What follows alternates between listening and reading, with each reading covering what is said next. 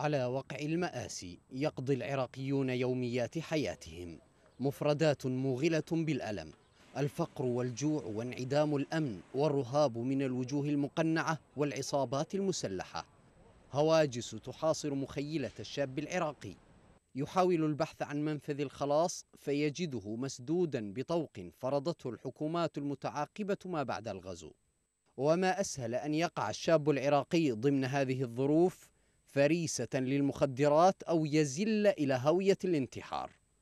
هي وقائع اعتاد العراق عليها منذ ستة عشر عاما ففي كل عام يودع الأهالي المئات من أبنائهم وبشكل يومي تصحو البيوت على فجيعة شاب أطلق رصاصة إلى رأسه أو شنق نفسه أو تناول المخدرات لحين توقف قلبه.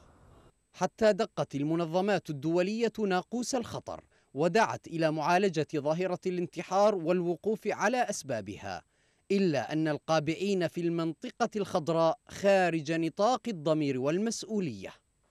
مفوضية حقوق الإنسان وحدها رصدت أكثر من 3500 حالة انتحار خلال السنوات الأربع الأخيرة.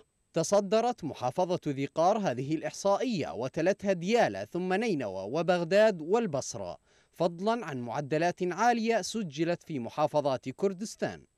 أما الأسباب فهي اقتصادية بالدرجة الأولى. البطالة وغياب فرص العمل وغياب الرعاية الصحية يضاف إليها إحساس الشاب بضياع هويته وفقدانه لذاته. في ظل حكومات حولت العراق إلى غابة يحكم فيها المستقوي بالأجنبي المستضعف من أبناء بلده ويحرمه أبسط حقوقه.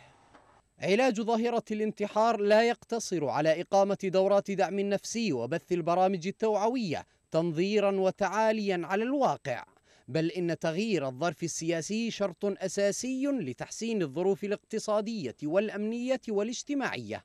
وما عدا ذلك لا شيء يوقف هذه الظاهرة التي لا تقتصر على قتل الشباب أنفسهم بل تخفي وراءها وطنا بأكمله يراد له الانتحار.